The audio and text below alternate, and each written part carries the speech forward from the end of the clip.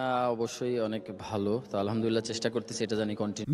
দিনের দ্বিতীয় ম্যাচে খুলনা টাইগার্সের মুখোমুখি হয়েছিল চট্টগ্রাম চ্যালেঞ্জার্স। টসে হেরে প্রথমে ব্যাট করতে নেমে নির্ধারিত বিশ ওভারে খুলনাকে মাত্র রানের টার্গেট দেয় চট্টগ্রাম, যেখানে খুলনার বোলার নাহিদুল ইসলাম চার ওভারে মাত্র বারো রান দিয়ে আদায় করে নেন চার চারটি উইকেট। ফলশ্রুতিতে ম্যাচ জেতার পর ম্যান অব দ্য ম্যাচের পুরস্কার উঠে তারই হাতে। এদিকে ম্যান অব দ্য ম্যাচের পুরস্কার জিতে নাহিদুল ইসলাম বলেন, সৃষ্টিকর্তার প্রতি কৃতজ্ঞতা।